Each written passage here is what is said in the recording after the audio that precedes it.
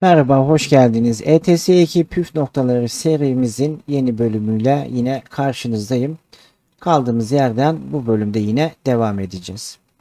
En son becerileri anlatmıştık. Ee, gelelim çekici galerilerine. Çekici galerilerinden adı üstünde kendinize çekici almak istediğiniz zaman bu alana tıklıyorsunuz. Ve ekranın sağ tarafında böyle karşınıza harita çıkıyor. Hangi kamyonu almak istiyorsunuz? Hangi marka kamyon almak istiyorsanız işte Iveco mu örneğin ya da DAF mı ya da Mercedes mi?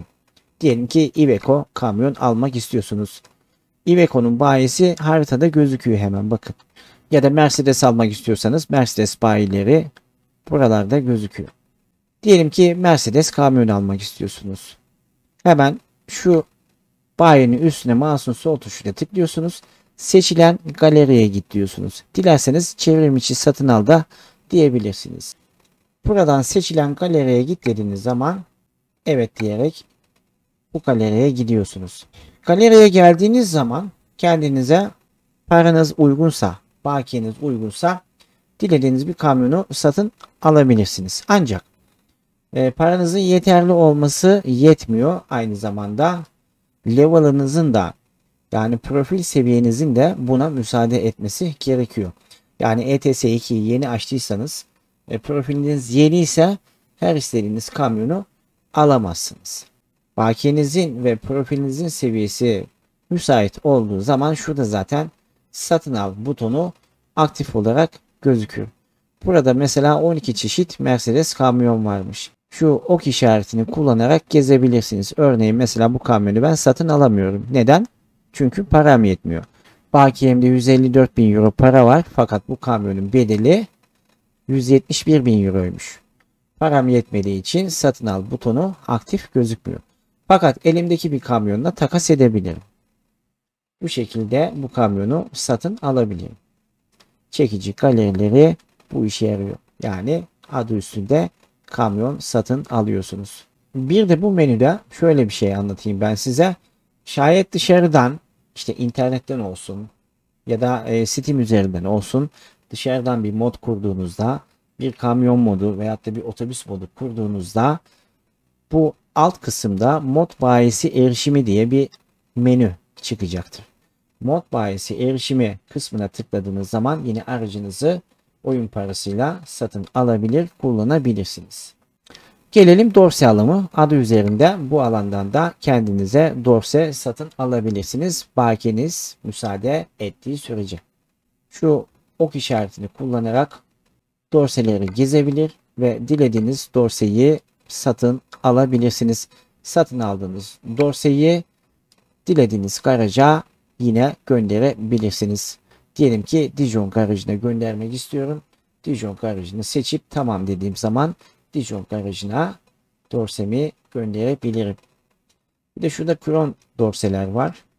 Yine kron dorselerden dilediğinizi satın alabilir. Aynı işlemi tekrarlayabilirsiniz. Aldığınız dorseyi yine istediğiniz garaja gönderebilirsiniz. Şu standart tekniklerin altında filo yapılandırmalarım var. Buna tıkladığınız zaman e, sizin kendinize ait geçmişte aldığınız dorseler bu kısımda gözüküyor. Dilerseniz dorsenizi seçip özelleştir de diyebilirsiniz. Ve direkt sizi servise götürecektir. Ve dorse üzerinde işte boyaydı, kaplamaydı vesaire değişiklikler yapabilirsiniz. Daha sonrasında ise oyun parasıyla ödemenizi yaptıktan sonra onayla dedikten sonra kameram bu kısmı kapatıyor galiba. Dorsenizde değişiklik yapabilirsiniz. Ancak ben şu anda bir şey yapmayacağım. Aynı işlemi yine çekici üzerinde de yapabilirsiniz. Diyelim ki şu kamyonu satın alacaksınız. Bakın burada özelleştir var. Özelleştire tıkladığınız zaman yine sizi servise götürecek. Kamyonunuza dilediğiniz eklemeyi çıkarmayı yaptıktan sonra yine oyun parasıyla ödemesini yapıp kamyonunuzu kendi zevkinize göre özelleştirebilirsiniz. Gelelim çekici parçalarına. Bu alandan bir şey satın alamıyorsunuz anladığım kadarıyla. Kamyonların markalarına göre ilave edebileceğiniz aksesuarları göstermekte benim anladığım kadarıyla. Yine aynı şekilde dorse parçalarına geldiğiniz zaman dorselere ilave edebileceğiniz parçaları göstermekte. Çok kullandığım bir bölüm değil bu ikisi. Araç ayarlarına tıkladığınız zaman diyelim ki aracınızın şu anda ekranda gözüküyor. Benim Scania kamyonum var. Aktif bir şekilde kullandım. Aracımın koltuk ayarlarını yapmak istiyorum diyelim. Hemen aracımın başına geçiyorum. Tabi oyunumuzun öncesinde açılması gerekiyor. Ve koltuk ayarları menüsü karşımıza çıktı. Bu aracımızın koltuk ayarlarını yapabiliriz.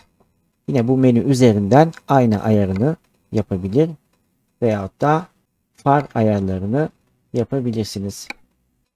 Teknik rapor kısmı ise aracınızın adı üzerinde teknik bilgilerini size veriyor. Teknik raporu tıkladığınız zaman örneğin benim şu anda ekranda gördüğünüz Scania kamyonum 8x4 çarpı 4'müş. E, R serisi bir kamyonmuş. 650 beygir bir motora sahipmiş. Ondan sonra abicim 1000 litre yakıt e, tankı hacmi varmış vesaire. Adı üzerinde araç hakkında e, teknik bilgiyi size bu menü içerisinde göstermekte. Yine aracınızın hasar durumunu sağ tarafta görebilirsiniz. Ancak aracınızda hasar olsa dahi şu tamir et butonu aktif olmaz. Bunun için e, servise gitmeniz lazım. Serviste aracınızı bakımdan geçirmeniz gerekiyor. Bu kısım sadece bilgi verme amaçlı. Aracınıza bu kısımdan bakım yapamazsınız. Evet, çekici yöneticisine tıkladığımızda ise burada sahip olduğunuz çekicileri görebilirsiniz. Benim kaç tane çekicim var bilmiyorum ama sanırım bir 25-30 tane çekicim var. Öyle gözüküyor. Ve e, bu kısımdan yine ve çekicilerinizi inceleyebilirsiniz. İşte motor neymiş? 360 beygirmiş. Ondan sonra şimdiye kadar 79 bin kilometre kat etmiş. Şoförü var. Şoförü olmasaydı burada yok diyecekti. Dorsesi var aynı zamanda ve aracım Avusturya Graz garajındaymış. Şu anda aracım teslimatta anladığım kadarıyla günlük kere ise 2320 euroymuş. Şoför de şu sakallı abim. Bilmiyorum kameram kapatıyor mu ama görebiliyor musunuz? Bilmiyorum ama şu sakallı abim bu aracın şoförü. Bu aracı gönder dediğim zaman istediğim bir garaja gönderebilirim. Dilersem bu menü üzerine yine aracımı satabilirim. Ve aracımı geliştirebilirim. Bu geliştir butonuna tıkladığım zaman direkt servis alanına geliyorsunuz ve aracınızı dilediğiniz gibi az önce de bahsettiğim geliştirebilirsiniz. Tabi oyun parasıyla ödemenizi yaptıktan sonra bu alandan çıkmanız gerekiyor. Sonra sür dediğim zaman dilersem bu şoförün elinden bu aracı kendime alabilirim. Yani kendi kamyonum yapabilirim. Şu yapılandırma kopyala bunun ne olduğunu bilmiyorum. Şimdiye kadar ben hiç kullanmadım. İşin açıkçası bu e, yapılandırma kopyala hakkında pek bir fikrim yok. Bu pencerede çekicilerinizi tablo görünümünde yani bir liste görünümünde görebileceğiniz gibi harita görünümünü kullanarak da çekicilerinizi haritada görebilirsiniz. Çekicilerinizin konumlarını yine harita üzerinde görebilirsiniz. Örneğin şunun üstüne mouse'un sol tuşuyla geldiğim zaman abim kullanılmış plastik taşıyormuş. Avusturya Graz'dan Sarajevo'ya gidiyormuş. Renault Premium bir kamyon kullanıyor. Şuna geldiğimizde ise ablacım Budapeşte'den Stargard'a gidiyormuş. Volvo FH kullanıyor. Güzel. Dorse yöneticisine tıkladığınız zaman sahip olduğunuz dorseleri bu pencere üzerinden görebilirsiniz. Diyelim ki en üstteki şu dorse. Bu dorsemi yine istediğim garaja gönder dediğim zaman gönderebilirim. Veyahut da dorsemi bu alandan tek tuşla satabilirim. Yapılandırmaya tıkladığım zaman yine beni servise götürecek ve dorsem üzerinde dilediğim e, eklemeyi çıkarmayı yapabilirim. Şu şahsi hale getir dediğim zaman ise şu kilit açılıyor ve benim e, şahsi dorsem olmuş oluyor. Tekrar tıkladığım zaman şu asma kilit kilitlendiği zaman yine şoför bu dorseyi kullanabilir. Kullan dediğim zaman ise ben dorseyi bu kişiden kendime almış oluyorum. kendi kullanıma sunmuş oluyorum. Şu yapılandırma kopyalamayı az önce de bahsettim. Pek bir fikrim yok. Pek de kullandığım bir şey değil. Yine dorseniz hakkında bilgileri burada görebilirsiniz. İşte Stefani'ymiş şu dorsemin şoförü. Scania çekicisine bağlıymış ve İstanbul Karajı'na yine aitmiş. Şu anda aktif bir şekilde teslimatta gözüküyor dorsemiz. Şoför yöneticisine tıkladığımız zaman burada sahip olmuş olduğunuz sizin işe almış olduğunuz şoförlerin listesini bu alandan görebilirsiniz. Şu oyuncu yazan kısım benim. Diyelim ki şu Georgia ablamız bakalım. Burada şoförler hakkında ayrıntılı bilgiye ulaşabilirsiniz. Mercedes kamyon kullanıyormuş. Bacım şu anda yanılmıyorsam İstanbul garajına bağlıymış. Puanı 5.8. Şu anda seferde. Şimdi şu sol kısma geldiğimizde şoförümüzün profili oldukça gelişmiş, deneyimli bir şoför. Şu kaydı göster alana tıkladığınız zaman şoförümüzün şimdiye kadar gidip geldiği seferler ve mesafe başına elde ettiği karı bu alanda görebilirsiniz. Örneğin posta paketi taşımış. İstanbul'dan Leipzig'e gitmiş. 1987 kilometre ve 16 bin euro kar yapmış. Demek ki işin hakkını veriyor bu bacımız. Gönder dediğim zaman dilediğim garaja şoförümü gönderebilirim. Yani dilediğim garajdaki bir kamyonuma şoförümü gönderebilirim veyahut da işten çıkar dediğim zaman işten çıkartabilirim. Adı üstünde şoförlerinizi bu alanda yönetebilirsiniz. Yine tablo görünümü kullanabileceğiniz gibi harita görünümüne tıklayıp şoförleriniz ne yapıyor, ne ediyor? Harita üzerinde konumlarını görebilirsiniz. Örneğin şu Graz'daki şoförüm geri dönüyormuş. Nereye dönüyor? Lublin'e geri dönüyormuş. Garaj yöneticisine tıkladığınız zaman ise burada sahip olmuş olduğunuz garajları görebilirsiniz.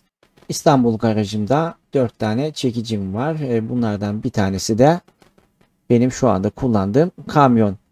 4 tane şoförüm 5 tane dorsem varmış. İstanbul garajımızın günlük karı 1281 euroymuş. Ekonomi özetine tıkladığınız zaman garaj hakkında işte şoför maaşları, gelir gider dengesini bu küçük pencereden takip edebilirsiniz. Gelir 244 bin euro demiş. Çekici bakımı 35 bin euro.